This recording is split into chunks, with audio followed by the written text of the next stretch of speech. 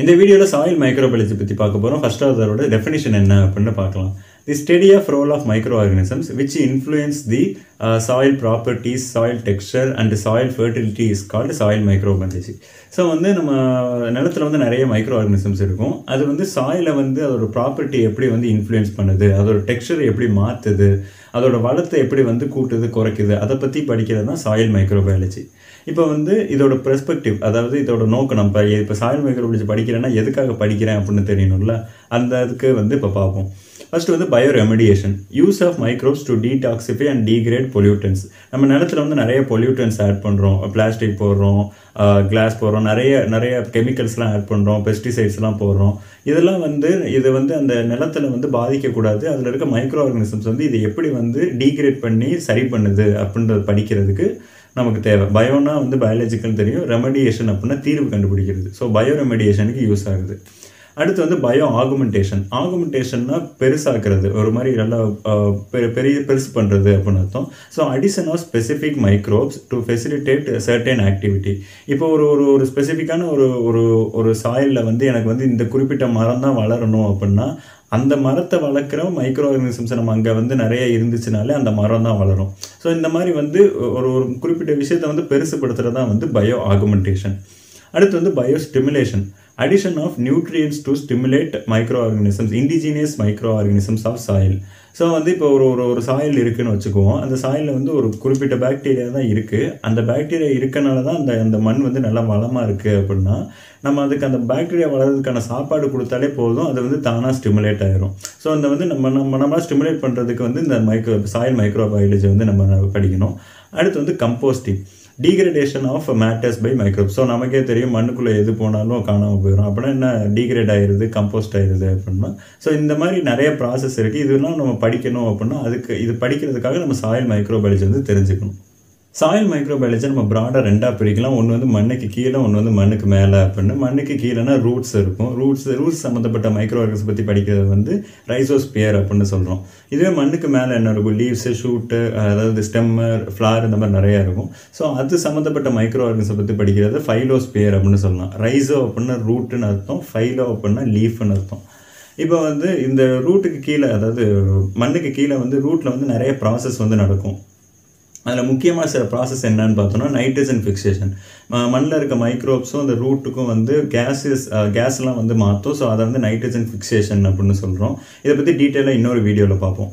அடுத்து வந்து detoxification of harmful chemicals அந்த செடிக்கு வந்து எந்த பாதிப்பும் வரக்கூடாதுன்னு சொல்லிட்டு மண்ணில் இருக்க மைக்ரோப்ஸ்லாம் வந்து ஏதாவது டாக்ஸிக் காம்பவுண்ட் ஏதாவது இருந்துச்சுன்னா அதை வந்து டீக்ரேட் பண்ணிடும் ஸோ இந்த மாதிரி நிறைய ப்ராசஸ் வந்து பார்க்கும். Stimulation of plant growth and suppress of disease organisms இந்த மாதிரி நிறையா வந்து பண்ணும். இதுவே இந்த பக்கம். இப்போ மண்ணுக்கு மேலே பார்த்தோம் அப்படின்னா அது இங்கே வந்து ஒவ்வொரு செடிக்கும் பொறுத்த மாதிரி இந்த மைக்ரோ ஆர்கனிசம் வந்து டிஃபர் ஆகும். Differ with age area atmosphere and etcetera influenced by season reaches the maximum in autumn அதாவது இது வந்து ஒவ்வொரு சீசனில் வந்து இந்த லீஃப்பில் இருக்க மைக்ரோ ஆர்கனிசம் வந்து அதோட கவுண்ட் மாறிக்கிட்டே இருக்கும். இப்போ பார்த்தோம் அப்படின்னா இளையுதிர் காலம்ல தான் வந்து அதில் இருக்க மைக்ரோ ஆர்கனிசம் வந்து நிறைய இருக்கும் அப்படின்னு ஆட்டம் காலத்தில் தான் வந்து நிறையா இருக்கும் அப்படின்னு சொல்கிறாங்க leaves at the lower level harbour more microbes so வந்து இப்போ ஒரு இலை இப்படி இருக்குது அப்படின்னா அந்த இலையோட மேல் பரப்பை விட அடிப்பாகத்தில் தான் வந்து மைக்ரோஸ் வந்து அதிகமாக இருக்கும் அப்படின்னு சொல்கிறாங்க ஏன்னா மேல் பாகம் வந்து நிறைய இடத்துக்கு எக்ஸ்போஸ் ஆகும். சன்லைட்டாக இருக்கட்டும் காற்று அடிச்சுட்டு போயிடலாம் இல்லை சன்லைட்டில் பாதி இது இறந்து போயிடலாம் பட் கீழே பார்த்தா அப்படின்னா அதெல்லாம் எதுவுமே இருக்காது. ஸோ வந்து கீழே தான் மைக்ரோ ஆர்கன்ஸ் வந்து அதிகமாக இருக்கும் அப்படின்னு சொல்கிறாங்க ஸோ அந்த டயக்ராமில் பார்த்தாலே தெரியும். இந்த இப்போ மண்ணுக்கு கீழே இருக்கிறத வந்து ரைசோஸ்பியர் அப்படின்னு சொல்லியிருப்பாங்க. இதுவே மண்ணுக்கு மேலே இருக்கிறத வந்து ஃபைலோஸ்பியர் அப்படின்னு சொல்லியிருப்பாங்க.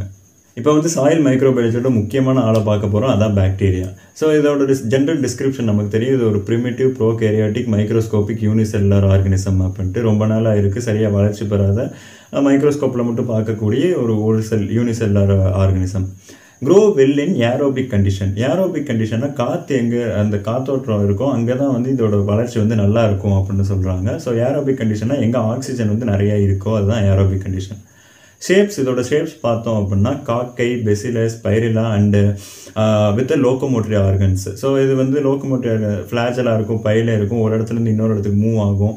இந்த மாதிரி இருக்கும். காக்கைனா ரவுண்ட் ரவுண்டாக இருக்குன்னு அர்த்தம். Uh, இது இதுவே பெசிலை அப்படின்னா ராடு ஷேப்பில் இருக்குது அப்படின்னு அர்த்தம். Isolated using dilution plate count method இதை வந்து எப்படி வந்து ஒரு ஐசோலேட் பண்ணுறாங்க சாயிலேருந்து இப்போ சாயிலில் தான் நம்ம பார்க்குறோம் எல்லாமே. சாயிலேருந்து எப்படி இதை ஐசோலேட் பண்ணுறாங்க அப்படின்னா சிம்பிளாக வந்து இதுக்கு ஒரு டெக்னிக் இருக்குது சீரியல் டைல்யூஷன் அப்படின்னு சொல்லுவாங்க. எப்படி அப்படின்னு பார்த்தோம் அப்படின்னா இப்போ ஒரு ஒரு சிம்பிளாக சொல்கிறேன் ஒரு ஒரு டெஸ்ட் டியூப்பில் வந்து டென் எம்எல் வாட்டர் எடுத்துக்குவாங்க. அதில் ஒன் கிராம் ஆஃப் சாயில் போட்டு நல்லா கலக்கிடுவாங்க. ஸோ அந்த ஒன் கிராம் ஆஃப் சாயிலில் என்ன மைக்ரோ ஆர்கனிசம்ஸ் இருக்கோ அது அந்த டென் எம்எல் டியூப்பில் இருக்கும். இப்போ அதுலேருந்து எடு ஒரு எம் எம்எல் எடுத்து இன்னொரு ஒரு ஒம்பது எம்எல் தண்ணி இருக்கிற டியூபுக்கு மாற்றுவாங்க ஸோ அப்போ இதில் இருக்கிறது கொஞ்சம் வந்து இதுக்கு போயிடும் இந்த இந்த டியூபுக்கு போயிடும் திரும்பி ஒம்பது எம்எல் தண்ணி ஒரு டியூப்பில் வந்து இதுலேருந்து ஒரு ஒரு எம்எல் எடுத்து அதில் போடுவாங்க. ஸோ இந்த மாதிரி வந்து அப்படியே அடுக்கடுக்காக நம்ம வந்து ஒரு ஒரு எம்எல் எடுத்து போடும்போது அதோட மை மைக்ரோ ஆர்கனிசமோட கவுண்ட் வந்து முதல் இதில் அதிகமாக இருக்கும். அடுத்ததில் கம்மியாக இருக்கும். அடுத்ததுக்கு அப்படியே கம்மி கம்மியாகிட்டே போயிட்டே இருக்கும். இதுதான் வந்து சீரியல் டைல்யூஷன் அப்படின்னு சொல்கிறாங்க ஒரு ஒரு கிராம் ஆஃப் சாயில் நம்ம ஒரு கிராம் ஆஃப் சாயில பார்த்தோம் அப்படின்னா கிட்டத்தட்ட அறுநூறு மில்லியன் பாக்டீரியா இருக்குது அறுபதாயிரம் ஸ்பீசிஸ் வந்து இருக்குது நைஸில் ஸோ அடுத்து வந்து இது வந்து அப்ராக்சிமேட் கவுண்ட் தான். அடுத்து வந்து லைஃப் ஸ்பேன் லைஃப் ஸ்பேன் பார்த்தோம் அப்படின்னா டுவெண்ட்டி டு தேர்ட்டி மினிட்ஸ் வந்து இந்த பாக்டீரியா வந்து இருக்கும். ப்ரீடாமினன்ட் டாப் சாயில் அதாவது நம்ம முன்னாடியே தெரியும் காத்தோட்டம் அதிகமாக இருக்கிறது தான் இதோட க்ரோத் நல்லா இருக்கும் அப்படின்னு. எங்கே காற்று அதிகமாக இருக்கும்? சாயிலோட மேற்பரப்பில் தான் காற்று அதிகமாக இருக்கும். ஸோ டாப் சாயிலில் வந்து இதோட கவுண்ட் வந்து அதிகமாக இருக்கும். அடியில் போக போக பாக்டீரியாவோட கவுண்ட் வந்து குறைஞ்சிட்டே இருக்கும். அதே மாதிரி இது ஏன் அப்படின்னா டாப் சாயிலில் தான் வந்து ஃபுட் சோர்ஸ் வந்து அதுக்கு நிறையா கிடைக்கும். அதுக்கு சாப்பாடு நிறையா கிடைக்கும். இதோட சாப்பாடு என்னன்னு பார்த்தோம்னா செடியிலேருந்து வர எக்ஸுடேட்ஸ் ஸோ அதோட செடியில் ரிலீஸ் பண்ணுற அதோட compounds sloughed off cells so அந்த பிளான்ட் செல்லெல்லாம் வந்து கிரு- கிடக்கும். அதை தான் வந்து இந்த பாக்டீரியா சாப்பிடும். அண்டு மேக்ரோபோர்ஸ் ஆர் பிளென்டிஃபுல் அதாவது மேக்ரோபோர்ஸ்னால் வந்து ஒன்றும் இல்லை. இப்போ மண்புழுலாம் இருக்குது அந்த இடத்துல ஓட்டை போடுது அப்படின்னா அங்கே காத்தோட்டம் வந்து நல்லா போகும். ஸோ இதுதான் வந்து மேக்ரோபோர்ஸ் அப்படின்னு சொல்லுவோம். இந்த இதெல்லாம் வந்து நிறைய இருக்கனால டாப் சாயிலில் பாக்டீரியா வந்து அதிகமாக இருக்கும். இப்போ இந்த சாயிலில் இருக்க பாக்டீரியாவை வந்து நம்ம ரெண்டாக பிரிக்கலாம். ஒன்று வந்து ஜைமோசீனஸ் இன்னொன்று வந்து ஆக்டாத்தனோஸ் ஜைமோசீனஸ் அப்படின்னா டிரான்சியன்ட் அப்படின்னு சொல்லலாம். என்னென்னா டெம்பரவரியாக இருக்கும். இப்போ ஒரு ஒரு நியூட்ரியன்ட் இருக்குது ஒரு அதுக்கு ஒரு குறிப்பிட்ட ஸ்பெசிஃபிக் சாப்பாடு இருக்குன்னா அந்த மைக்ரோ ஆர்கன்ஸ் வந்து அங்கே திடீர்னு நிறையா வரும். அப்புறம் கொஞ்ச நேரம் கழிச்சு இல்லாமல் போயிடும் ஸோ வந்து பாப்புலேஷன் ஆஃப் ஜைமோசீனஸ் பாக்டீரியா வந்து increases with increase in specific substrate ஒரு ஒரு குறிப்பிட்ட சாப்பாடு இருந்தால் அந்த மைக்ரோ அந்த பாக்டீரியா வந்து திடீர்னு அதிகமாக இருக்கும். இல்லை அப்படின்னா இருக்காது. எக்ஸாம்பிள் பார்த்தோம் அப்படின்னா சூடோமோனஸ் பாக்டீரியா இப்போ இதுவே ஆக்டோதானஸ் பார்த்தோம் அப்படின்னா நேட்டிவ் இண்டிஜினியஸ் மைக்ரோ ஆர்கானிசம்ஸ் அந்த இடத்துல வந்து அந்த அந்த மைக்ரோ ஆர்கானிசம் வந்து எப்பயுமே இருக்கும் அதுக்கு சாப்பாடு இல்லையோ இருக்கும் அந்த அந்த மண்ணுக்கு வந்து அது வந்து இண்டிஜினியஸ் அதுதான் தனிப்பட்ட இருக்கும். Don't fluctuate with change in nutrients so வந்து சாப்பாடு இருக்கோ இல்லையோ அது வந்து மாறாது. அங்கே இருக்கிற அந்த அந்த குறிப்பிட்ட பாக்டீரியா வந்து ஆக்டோதானஸ் அப்படின்னு சொல்லுவாங்க. எக்ஸாம்பிள் வந்து ஆக்டினோமைசிட்ஸ் இது ஆக்டினோமைசிட்ஸ் வந்து பாக்டீரியாவுக்கும் ஃபங்கைக்கும் நடுவில் இருக்கிற ஒன்று பட் ஆனால் பாக்டீரியான்னு சொல்லுவாங்க. பாக்டீரியா அடுத்து யார் வரா அப்படின்னா ஃபங்கை இது வந்து ஒரு ஹெட்ரோட்ரோபிக் யூகேரியாட்டிக் ஆர்கனிசம் ஸோ ஹெட்ரோட்ரோபிக்னா நமக்கு தெரியும். அது சாப்பாடை வந்து அதுவே ப்ரொடியூஸ் பண்ணிக்காது. இன்னொரு ஒரு ஆர்கனிசம் டிபெண்ட் பண்ணி தான் இருக்கும் அப்படின்னு. யூகேரியாட்னா கொஞ்சம் டெவலப்பான ஆர்கனிசம் அப்படின்ட்டு. Next abundance to bacteria in soil அதாவது சாயிலில் வந்து பாக்டீரியா அடுத்து அதிகப்படியாக இருக்கிறது இந்த ஃபங்கை தான். Possesses mycelium composes of hyphae அதாவது ஹைஃபே மைசீலியம்னா பெருசாக ஒன்றும் கிடையாது. இப்போ நம்ம ஸ்பைடர் வர்ற வெப் மாதிரி அது வந்து ஒரு நூல் மாதிரி இருக்கும். இந்த இதை ப்ரொடியூஸ் பண்ணுறது ஹைஃபே அப்படின்னு சொல்லுவோம். இந்த நூலே வந்து அப்படி கைமை கைமைன்னு இருந்தால் அது வந்து மைசீலியம் அப்படின்னு சொல்லுவோம். அடுத்து வந்து produces spores in unfavourable condition unfavourable condition so unfavourable கண்டிஷனில் வந்து ஸ்போர்ஸ் வந்து ப்ரொடியூஸ் பண்ணும். இது அது இப்போ அது வந்து அன் அதாவது அன் இப்போ வந்து சுத்தமாக எதுவுமே செட் ஆகலை. ஸோ ரொம்ப டெம்பரேச்சர் அதிகமாக இருக்குது அப்படின்னா இது அந்த மாதிரி கண்டிஷன்ஸில் வந்து இது வந்து இறந்து போகாது அதுக்கு பதிலாக ஸ்போர்ஸ் வந்து ப்ரொடியூஸ் பண்ணி வச்சுருக்கோம். திரும்பி ஃபேவரபிள் கண்டிஷன் வந்து வரும்போது அந்த ஸ்போர்ட்ஸ் வந்து டெவலப் ஆகி வந்து வளரும். Dominant in acidic moist soil so வந்து ரொம்ப அசிடிக்காக இருக்கிற கண்டிஷனில் இருக்க சா ரொம்பலாம் இல்லை. நார்மல் அசிடிக் சாயிலில் வந்து இது அதிகமாக இருக்கும். அதே மாதிரி ஈரப்பதம் வந்து இதுக்கு இருக்கணும். இப்போ நம்ம அதில் நிறைய டைப்ஸ் பார்த்தோம். இதில் பேசிக்காக ரொம்ப முக்கியமான டைப் என்ன அப்படின்னா மைக்கோ ரைஸே அப்படின்ற டைப் மைக்கோ அப்படின்னா ஃபங்கைன்னு அர்த்தம். ரைஸே அப்படின்னா uh, வந்து uh, ரூட் அப்படின்னு அர்த்தம்.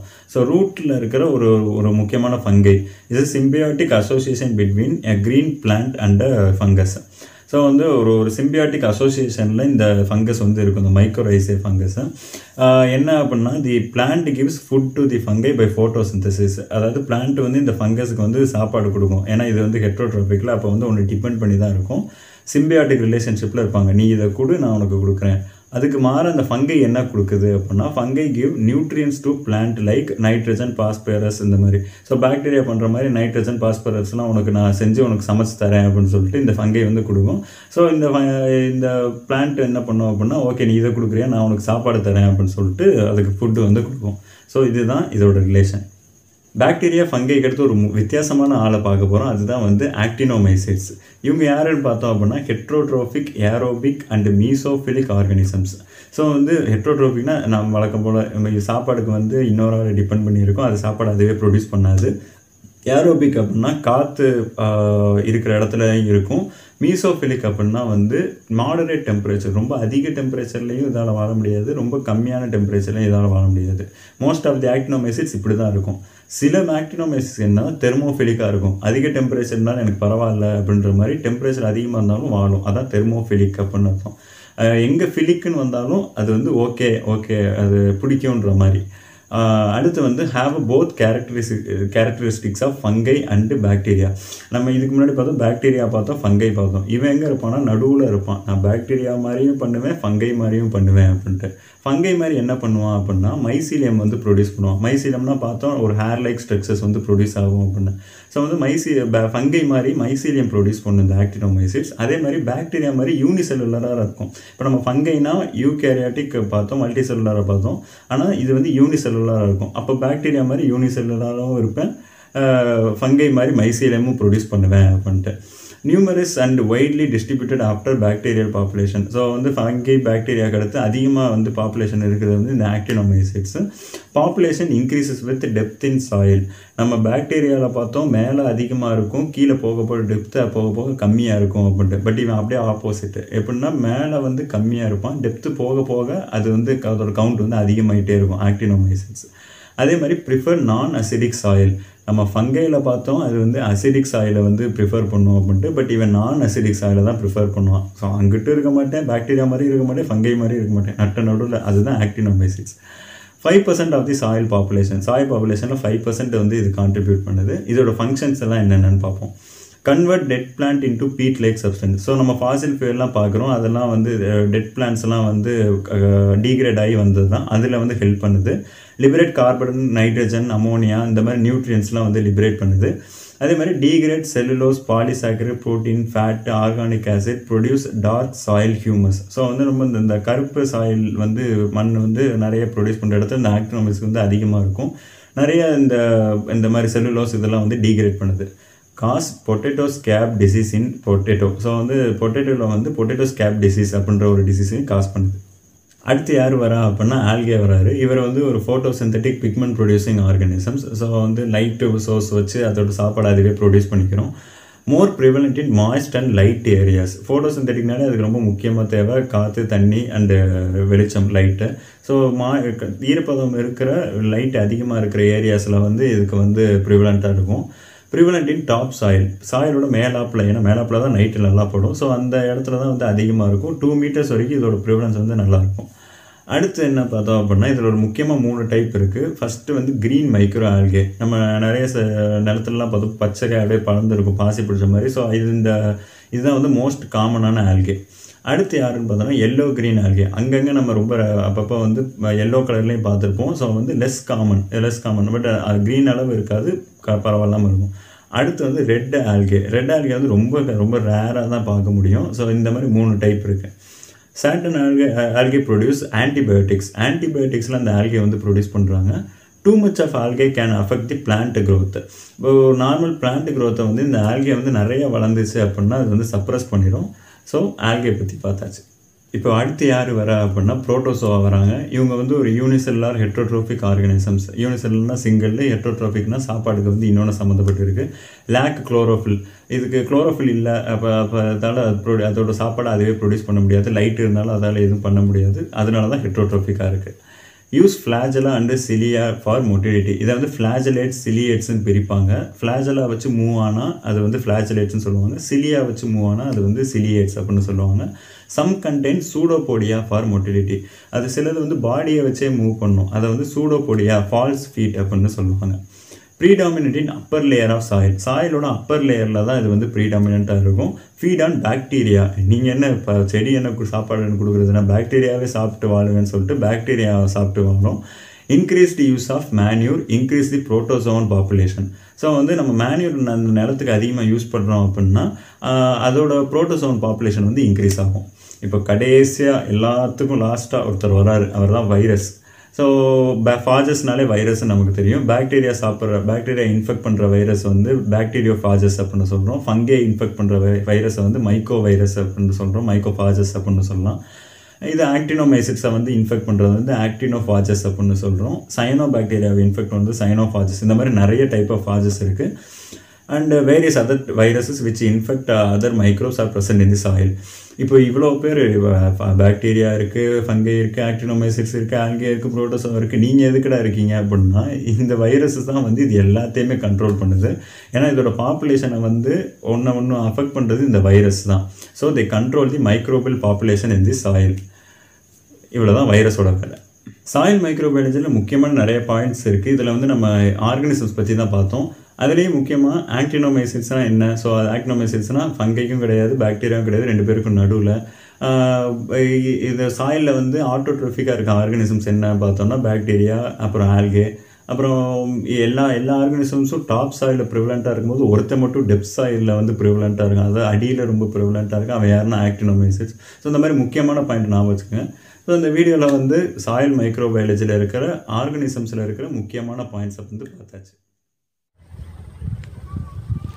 சின்ன பிள்ளையில ஒழுங்காக படிக்கலன்னு நம்மளை மண்ணு மண்ணுன்னு திட்டுறாங்க. பட் அந்த மண்ணை பற்றி படிக்கிறது எவ்வளோ கஷ்டமாக இருக்குது பார்த்தீங்களா ஸோ இந்த வீடியோ உங்களுக்கு பிடிச்சிருந்தா like comment share subscribe and bell icon hit பண்ணிடுங்க அண்ட் திங்க் விஷன் இன்ஸ்டாகிராம் பேஜையும் ஃபாலோ பண்ணிடுங்க பை